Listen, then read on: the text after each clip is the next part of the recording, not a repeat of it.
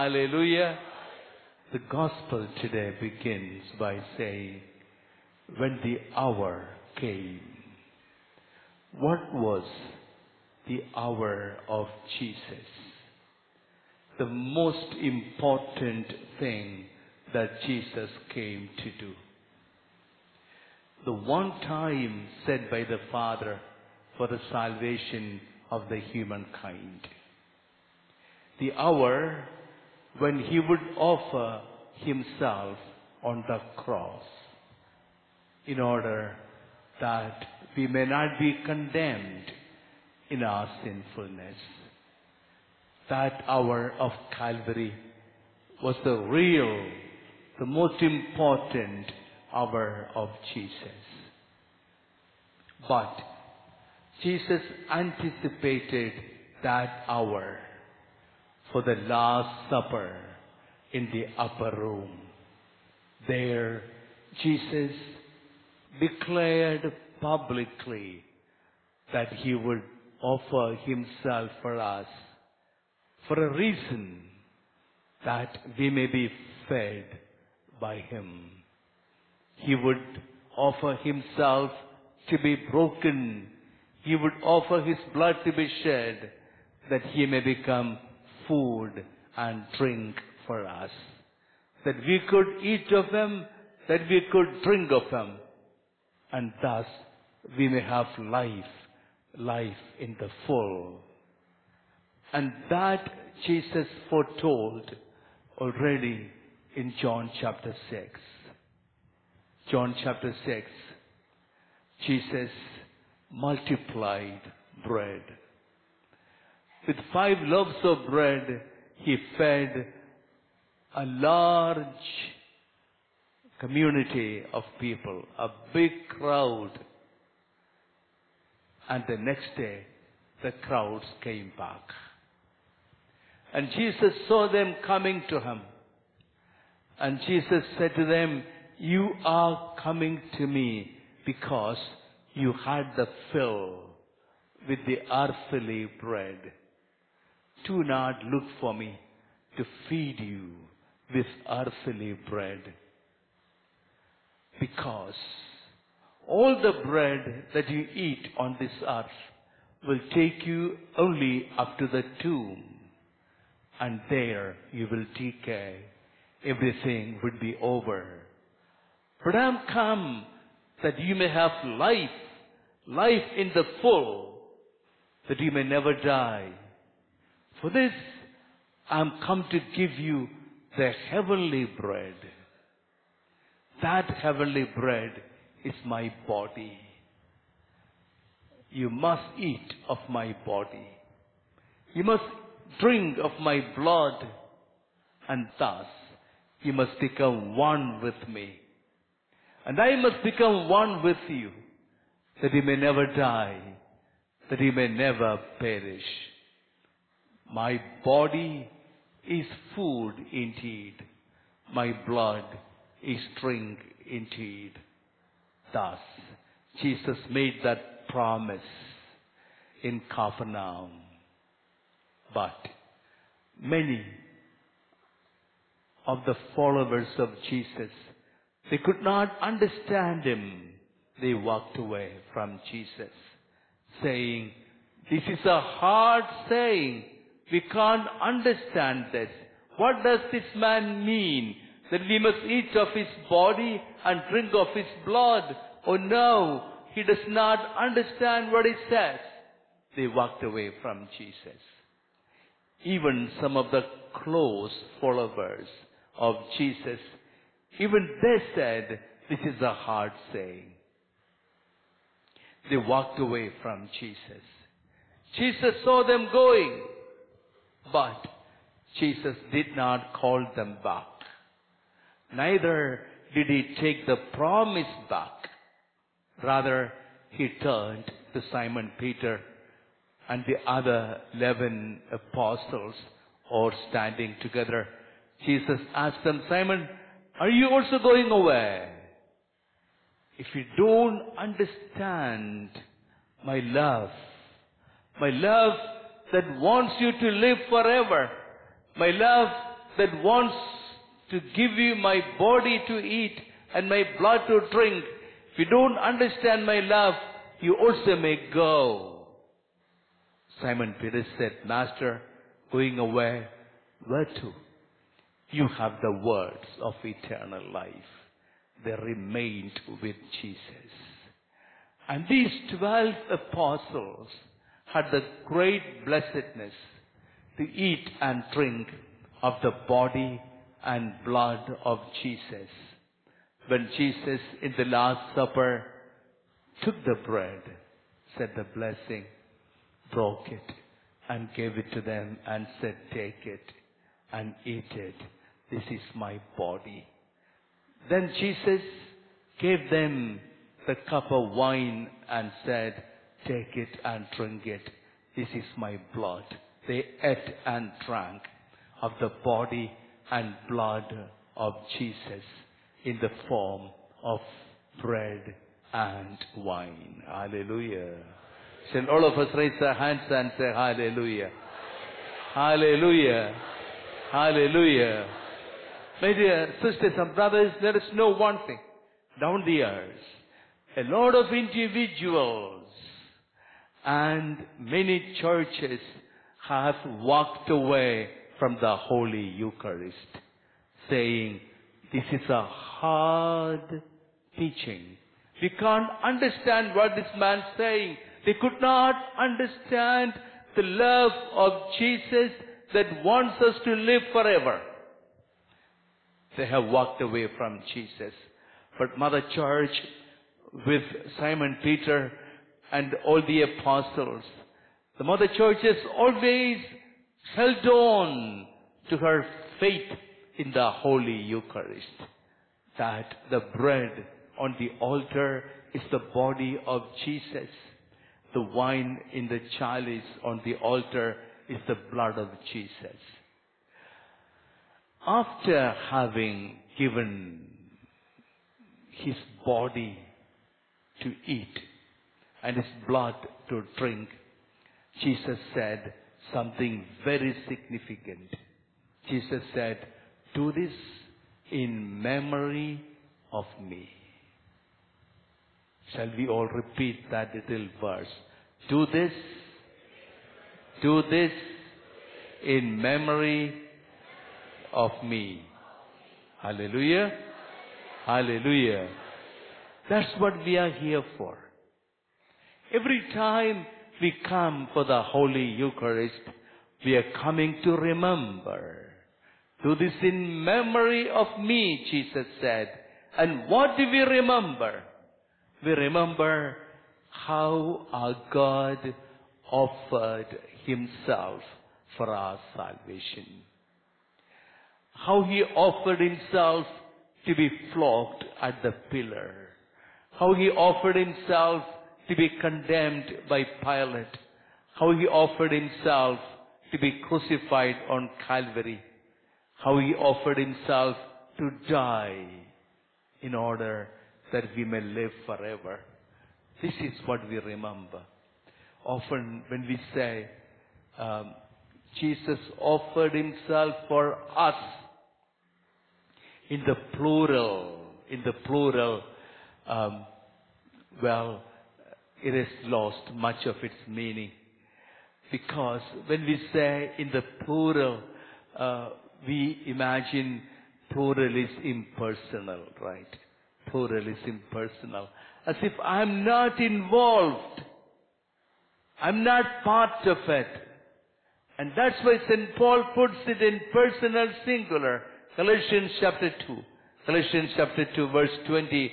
St. Paul said, My Jesus offered himself for me and crucified with him.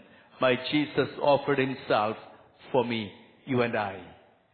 Every one of us should be able to say it, should be able to feel it. It is for me that Jesus offered himself on the cross.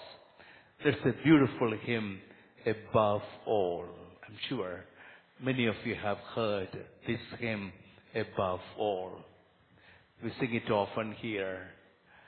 the hymn proceeds, narrating different moments in the passion and suffering and death of Jesus. How Jesus was betrayed by Judas. How he was flogged at the pillar. How he was condemned by Pilate. How he was crucified on Calvary and buried in the tomb. And then the hymn climaxes in a beautiful little verse. Above all, he thought of me. Above all, he thought of me. My dear sisters and brothers, you and I should be able to feel it. When Jesus was flogged at the pillar, and his body was bruised, burning with pain, it was my name that was on the lips of Jesus. He loved me so much. He offered that agony for my salvation. Remember, Jesus said, No one snatches my life away from me. I willingly offer it for my sheep. I willingly offer it for my sheep. John chapter 10, verse 18. John chapter 10, verse 18. His sheep. What is his relationship with his sheep? Jesus said, I know my own sheep. I call them by name, you and I. My dear sisters and brothers, we are the sheep of Jesus, whom Jesus calls by name. And Jesus knows you and me personally. Jesus knows you and me by name. And Jesus has offered himself for my salvation, for your salvation. At that moment, when the Paschal mystery was being enacted, my face was there. My face was there in the heart of Jesus. And your face, my brother, your face, my sister, all of us were there in the heart of Jesus. Hallelujah. Hallelujah.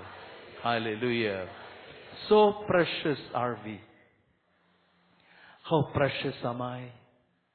What is my value? What's your value? My value is all the blood of Jesus. All the blood that Jesus shed on the cross. That's my value. Jesus opted to do that. He decided to do that because he loved me so much. I'm so precious. I'm so valuable in the eyes of my Jesus. Now this is what we remember at this altar. A sacred memory. Sacred memory how precious I am in the eyes, in the heart of my Jesus. When we celebrate this memory at this altar, there are other memories that hurt us. Other memories.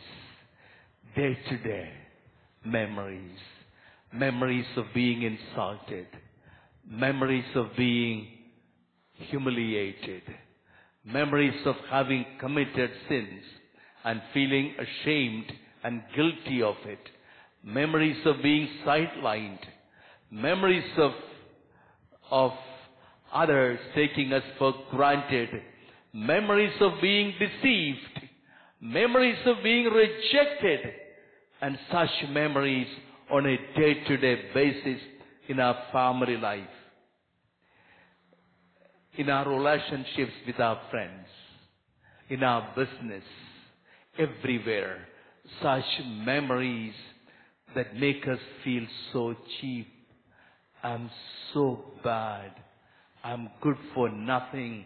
And that's what people make us feel when I'm rejected, when I am insulted, when I am taken for granted. I'm made to feel so little, so cheap. This is happening to us all the time. And such memories are bundled up, bundled up in our hearts, accumulated in our hearts. What are we to do with such memories? It is such memories that hurt us all the time. Such memories that make us angry all the time. It is such memories that make us depressed all the time. It is such memories that make us feel miserable all the time. And that is precisely why the Lord is waiting, waiting for us here to take all those memories away when we come for the Holy Mass. Well, that's the wrong usage. We are not coming for the Holy Mass, are we? None of us can come to Jesus. Jesus said it. No one can come to me unless my Father draws him. John chapter 6 verse 44. John chapter 6 verse 44. No one can come to me unless my Father draws him. If we are coming to Jesus, it is because our Heavenly Father has drawn us to the presence of Jesus. Why is the Heavenly Father drawing us to the presence of Jesus? The Heavenly Father is drawing us to the presence of Jesus in order that we may offer up every such memory to Jesus. Every such memory of being devalued, devalued, to offer all such painful, hurting memories to Jesus. That's why Jesus said something very beautiful before the Last Supper. Jesus said, I have desired, with a great desire, to eat this Passover meal with you. I have been waiting for you. That's what Jesus says when we come to the Eucharistic celebration, my child. I know how hurt you are. I know how sad you are. I know how ashamed you are. I know you blame yourself for many things. Others blame you and you feel so bitter. I've been waiting for you to tell you how precious you are. You're so precious. I offer myself. I offer myself for your salvation that you may be saved. Hallelujah. Shall all of us raise our hands and say hallelujah? Hallelujah. Thank you, Jesus. Praise you, Jesus. The one thing we need to do is to offer. At the offertory, Jesus takes a piece of bread and Jesus keeps it on the paten and Jesus lifts it up on the altar for everyone to see. But Jesus does it in the hands of the priest. Jesus takes the chalice and pours a little wine into the chalice, adds a drop of water and lifts it up on the altar for every one of us to see. A moment, the priest at the altar becomes the visible symbol of the invisible presence of Jesus. When Jesus raises up that piece of bread, that wine on the altar, the Lord is asking us, my children, I am offering myself to my Heavenly Father. What have you to offer? I am offering my broken body to my Heavenly Father. Is your body broken? Is your body sick? Is your body aching? Is your body ailing? All that ache and ailment of your body, give it to me. Let me raise it up to my Heavenly Father. Again, Jesus is saying, I'm offering my heart, broken heart, to my Heavenly Father. Remember, Jesus said, My heart is sorrowful unto death. My agony I'm offering to my Heavenly Father. What are the hurts in your heart? The sad feelings in your heart. All the hurts in your heart. Give it all to me. A moment Jesus is waiting. Again, Jesus is telling us, I'm offering the sin of humankind to my Heavenly Father. What is the sin you are conscious of? in your family, in your heart. All that sin, give it all to me. A moment the Lord is waiting to take upon himself our sin and our pain. That's what prophet Isaiah had said 800 years before the coming of Jesus. The prophet said, the Savior is coming and he will take upon himself our sin and our pain. And that's what Jesus did on Calvary. That's what Jesus does every time the Holy Mass is being offered. Hallelujah. Hallelujah. Hallelujah. The Lord is waiting at this altar. Remember Jesus said, I have counted your afflictions, Psalm 56 8. I have counted your afflictions. I have collected your tears in my heart. Again, Jesus said, even a hair that fell from your head, I have counted it all. Matthew 10:30. Everything, every little thing, even a drop of tear, every sigh that escaped from our heart, every bit of affliction, every bit of pain in our body, Jesus knows it all. And Jesus is waiting that we may give it all to Him. The one thing we must be doing is to offer it all on this altar. Hallelujah. Hallelujah. My dear sisters and brothers, then comes the time of consecration. Jesus takes that piece of bread. But Jesus takes that piece of bread in the hands of the priest.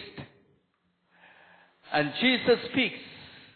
But Jesus speaks in the voice of the priest. This is my body.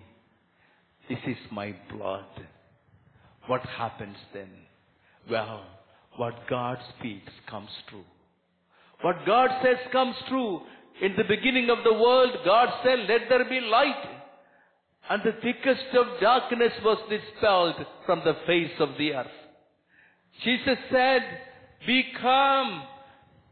And the raging sea and the roaring waves fell at the feet of Jesus. Jesus said, Lazarus, come out. The dead man came out alive.